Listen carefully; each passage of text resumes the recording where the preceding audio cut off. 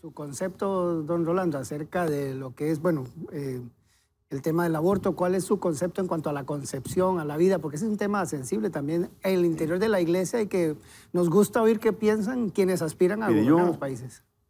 Primero que todo, me parece que cualquier tema de estos va a dividir el país cuando tenemos que estar todos centrados en apagar el incendio.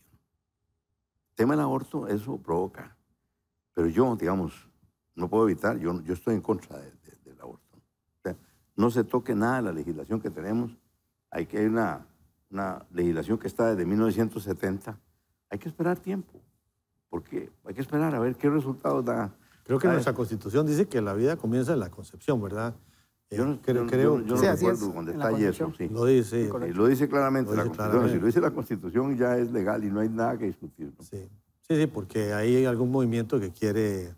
Y digamos, yo, yo creo, en, yo creo eh, mucho en el libre albedrío porque, porque Dios, ¿verdad? Nos lo dio. No, lo dio, Él lo respeta. Entonces yo respeto, si usted quiere decir una mala palabra, dígala. Y si usted quiere, eh, ¿verdad? Lo que usted quiera decir, hágalo. Y, y yo creo en que yo le doy fidelidad a mi esposa, nos hemos prometido fidelidad y yo solo con ella voy a estar. Y hay otros que dicen, no, voy a estar con mi esposa. Claro, sabiendo que hay consecuencias de todos nuestros actos, ¿verdad? No, pero, hay, pero es libre albedrío. yo, no yo, no le puedo decir a alguien, no, vea, ¿cómo usted se va a acostar con esa mujer eh, si usted es casado? Dice, yo que lo voy a meter a la cárcel. O, bueno, que esa es otra cosa. Eh, pero, pero, bueno, pero, pero una cosa es libre albedrío, otra cosa es el respeto a la vida. Ya cuando está de por medio por derecho a libre albedrío usted no va a tener derecho a matar a una persona. Ah, bueno, ahí, así lo vemos nosotros en la iglesia en cuanto al, aborto, a la vida que está ahí dentro. Yo sí estoy de acuerdo en que una mujer cuya vida está en peligro inminente. Eso está, está bien. Yo, yo francamente digo, tiene el derecho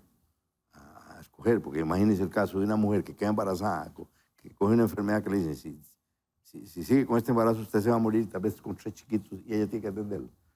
O sea, eh, tengo... que salvarle la vida a sus tres niñitos. Entonces yo, yo eso lo comprendo.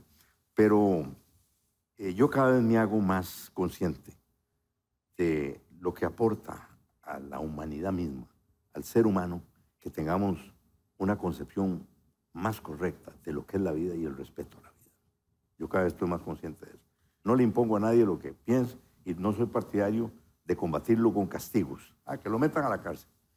Yo no, no.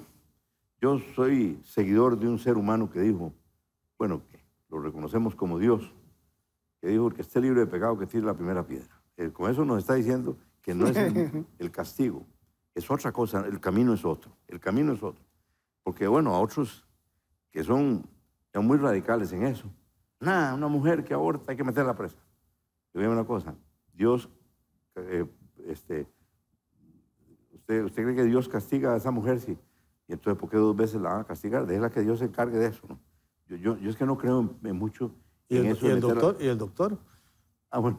es que, es que eh, eh, ahí donde... Ahí donde no, yo, yo, entiendo lo que está queriendo explicar, pero bueno, para nosotros como, como cristianos todo es muy interesante escuchar la, la, la opinión de ellos.